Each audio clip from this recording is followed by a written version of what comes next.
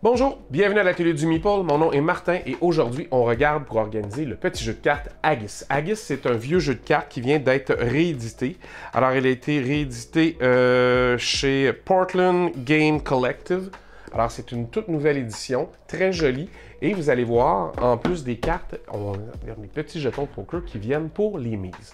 Alors, c'est un petit élément de luxe qui est le fun, mais euh, la boîte est drôlement conçu. C'est un petit format, c'est parfait pour transporter des petits jeux de cartes, mais euh, faut quand même s'arranger pour que les choses ne brisent pas les cartes, particulièrement les jetons de poker, et que tout ça reste ensemble un peu sans que tout se mêle dans la boîte. Alors, on regarde ça ensemble, comment organiser le jeu Agis.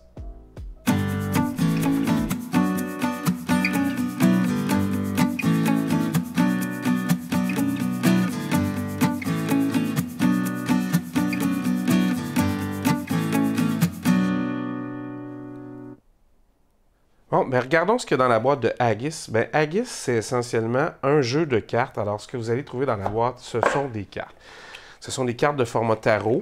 Alors, vous avez des cartes euh, beaucoup plus longues que, larges. C'est souvent le cas dans les cartes, mais celle-là, c'est particulièrement vrai.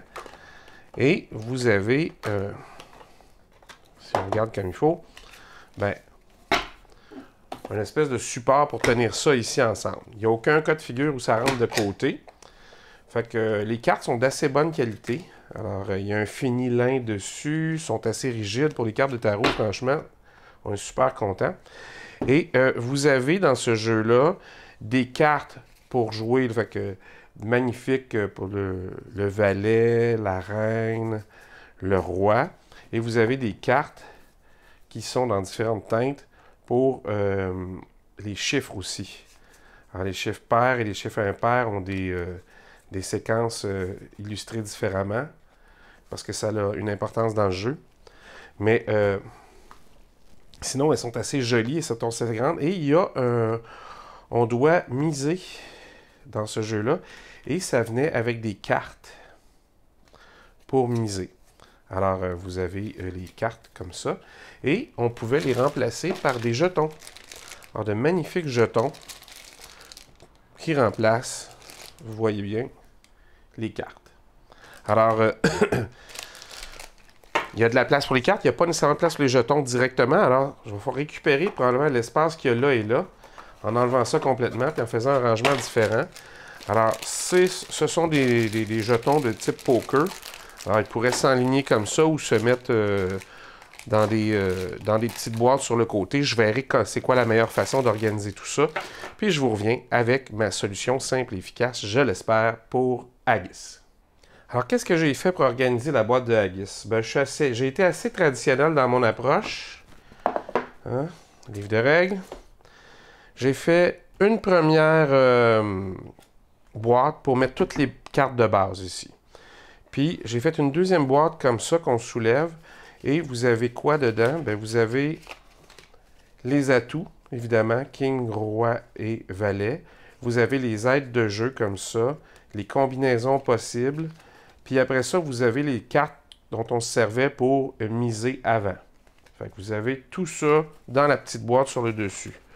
Pourquoi? Parce qu'en dessous, il y a une boîte qui contient tous les euh, jetons comme ça euh, pour, euh, pour miser à la place. Alors, vos, jetons pour miser sont rangés dans une boîte comme ça qui, qui va faire office de, rangement. Alors, vous pouvez même mettre comme ça dans ce sens-là, ça n'a pas d'importance. L'idée, c'est que tout rentre, tout va se tenir et tout va être facile d'accès.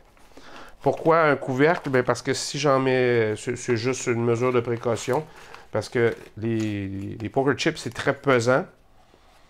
Alors, euh, je me suis dit, je vais les mettre comme ça. Et, vous remarquerez, que j'aurais pu probablement mettre tout ça dans l'autre boîte, mais que si je les avais rangés debout, ben, euh, j'aurais eu une perte d'espace et tout aurait bougé un peu plus.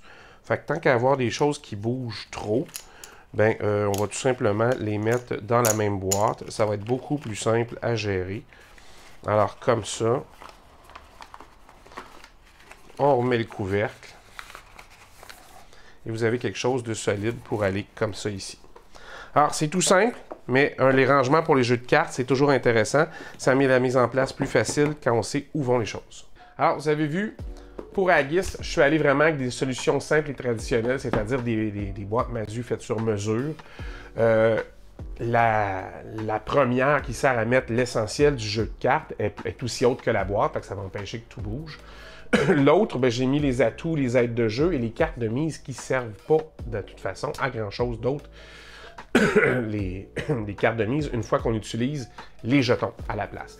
les jetons, je pense que c'est important de les mettre ensemble pour pas qu'elles cognent sur le, reste du, euh, du jeu. Puis comme c'est des cartes, ben, je ne voulais pas les abîmer. Elles sont quand même de très bonne qualité. Je me plains souvent de la qualité des, cartes ces temps-ci. Mais dans ce jeu-là, la qualité est bonne. Pour des grandes cartes tarot, la, euh, elles sont rigides. Euh, euh, elles ont un fini lin dessus. Alors, il y a un fini protecteur. Je pense que c'est des cartes qui vont durer longtemps, même si on les sleeve pas. Alors, j'espère que vous avez apprécié. Si vous avez des questions ou des commentaires, n'hésitez pas, mettez-les en bas de la vidéo. Ça me fait toujours plaisir de répondre à vos, à vos commentaires.